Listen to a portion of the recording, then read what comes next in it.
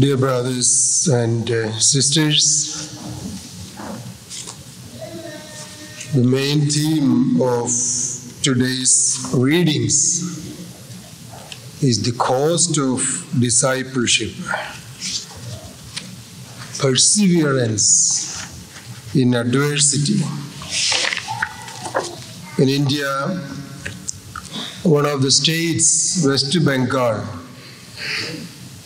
a man lived, his name was Madhavan. He was a Hindu. And somehow he came to know about Jesus and he received baptism. He became a Christian. And then he became a Protestant missionary. And recently it was his daughter's wedding, so all his family members remained Hindus, only he became a Christian.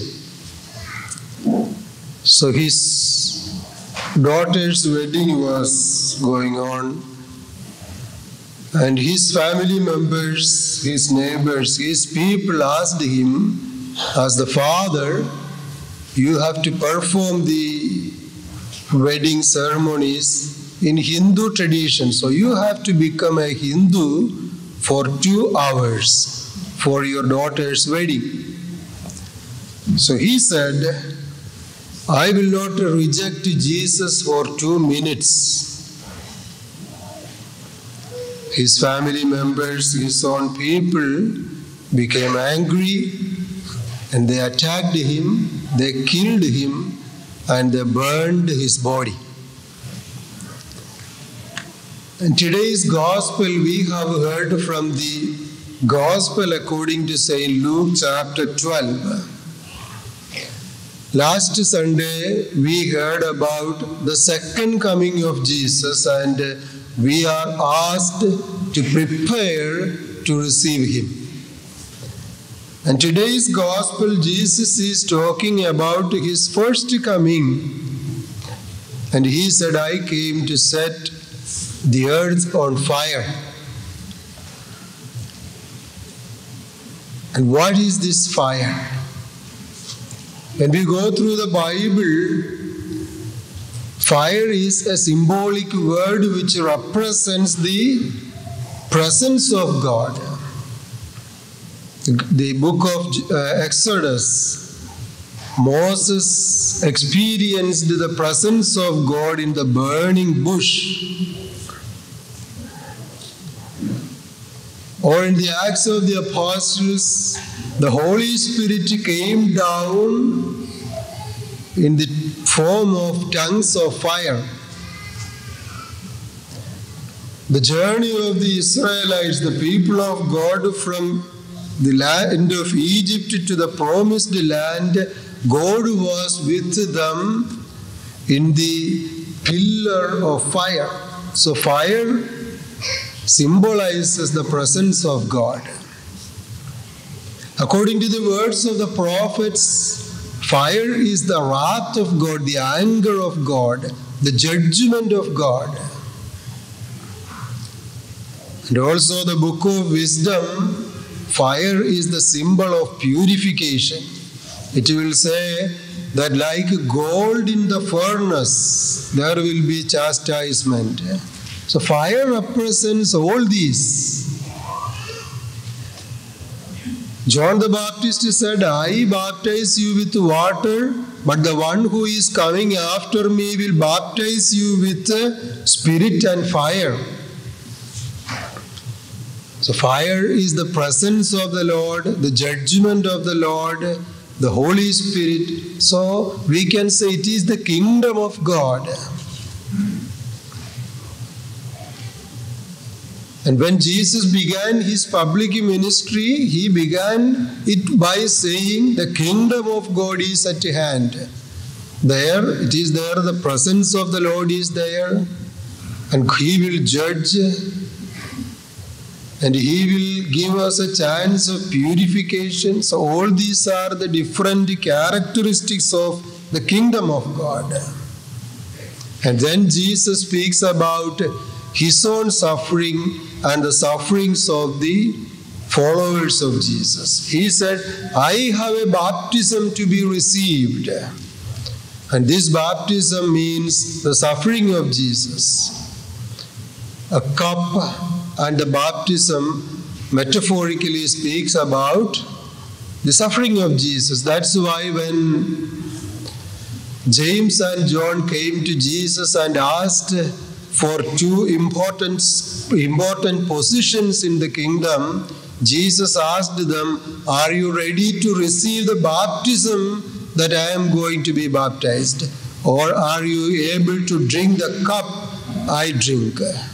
So the baptism and cup is the suffering of Jesus. And after that, Jesus is telling them that I brought division two against three or three against two, father against son, son against father. I brought division. And that's what uh, I told you in the beginning your own family members will be against you. And that's what we have heard the first reading from the book of prophet Jeremiah, chapter 38. His own fa- friends or his own family members were against Jeremiah. When God called Jeremiah to be a prophet, God, Jeremiah told God, God, I am too young to be a prophet. And God told him, Don't tell me that you are too young. Before I formed you in your mother's womb, I knew you, I consecrated you, I appointed you, and I will not allow your enemies to prevail over you. I will be with you. And what we have heard today, at that time, Babylon became uh, an emerging power, a prominent power in the Mesopotamia and the Middle East area. Babylon, the present day Iraq. So they began to conquer the small kingdoms around them. And they planned to attack Judea and Jerusalem. At that time, the people of Judea and Jerusalem, they were going away from God, so the wrath of God was there. So God, through the prophets, prophesied that they will go to exile again because of their sinfulness. So this time, Babylon decided to attack Judea and Jerusalem. The military surrounded this place, and then God told Jeremiah to go and speak to the king, Zedekiah. Jeremiah went to Zedekiah and said, Go and surrender to the king of Babylon. If you are going to attack them back, they will come and destroy Jerusalem. People will be killed. So, in order to avoid that, you go there and you surrender in front of the king of Babylon. But we know that because of the prophecy of Jeremiah, the people, the court officials were against him, and they told the king that the one, the prophet Jeremiah, who told you to surrender yourself in front of the king of Babylon, he is a traitor, he is not a patriot. So we have to kill him. The king said, Jeremiah is there, you go and do whatever you want. So Jeremiah was thrown into a cistern filled with mud. There, one of the Cushite, an Ethiopian, his name was given as Ebed Melech. Ebed Melech means the servant of the king. He was an Ethiopian. He went to the king and said, He is a prophet. He is going to die in the well, in this cistern. So we have to save him. Again, the king said, You go, take three people with you, and save him from the cistern. This man, Ebed Melech, went with three people and saved the life of prophet Jeremiah. As a reward, we see later that God protected this Ethiopian from the attack of Babylonians. So, my dear brothers and sisters, the first reading today speak about the suffering of Jeremiah because of his faithfulness to the word of God. He suffered from his own people, his own family members, relatives, and friends. And then coming to the second reading today, the letter of St. Paul to Hebrews. The Hebrews were the Judeo Christian community. Jewish people became Christians, the followers of Jesus. And there, what happened? Because they followed Jesus, their fellow Jews, they expelled them from the synagogues. Their family members cut off their relationship with them. They missed their religious rituals. They are expelled from the community. So, at that point, Paul is strengthening them by saying that you are surrounded by a cloud of witnesses. Who are these cloud of witnesses? Those who suffered before you, the heroes of faith. From Abraham itself, the Old Testament people who suffered, the prophets who were killed. So you are now in a race, and you are not alone. All these heroes of the Old Testament who died for their faithfulness to God, they are here to support you, to cheer. What do you have to do, you have to run your race, fixing your eyes on Jesus Christ.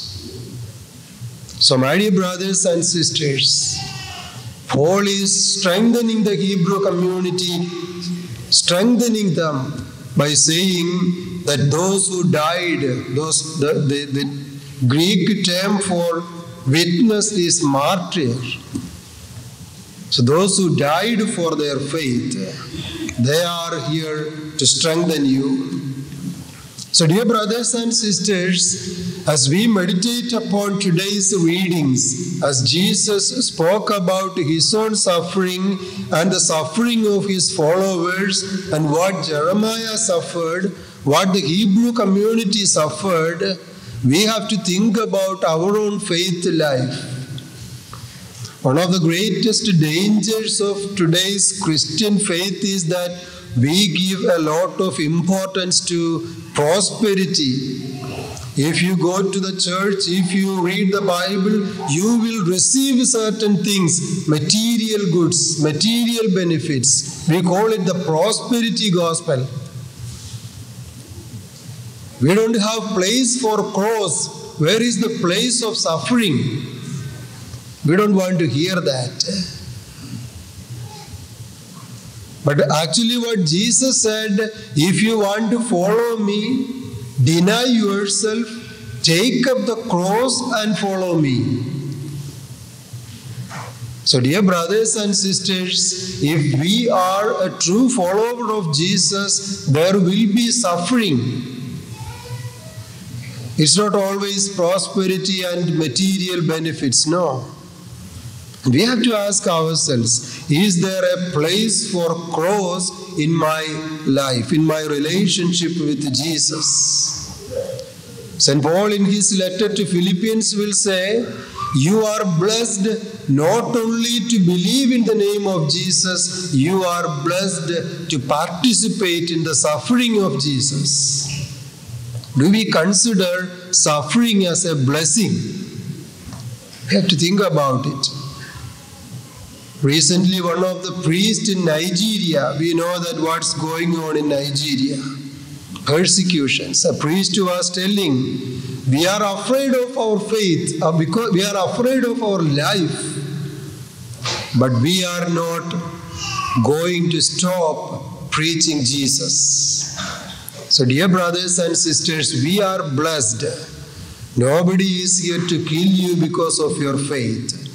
We have a lot of opportunities. Our children, we have ECC. For our youth, for our adults, we have enough opportunities to grow in our faith. Do we make use of it? We are complaining for very small things because we don't have anything else to do. We are not worried about our life. We don't face any persecutions. My dear brothers and sisters, just imagine you are not sure if you know if you, if we are not sure what is going to happen to me next moment because of my faith. So, my dear brothers and sisters, let us ask ourselves about our faith. Are we ready to suffer for Jesus? Is there a place for cross in my life? God bless you. Amen.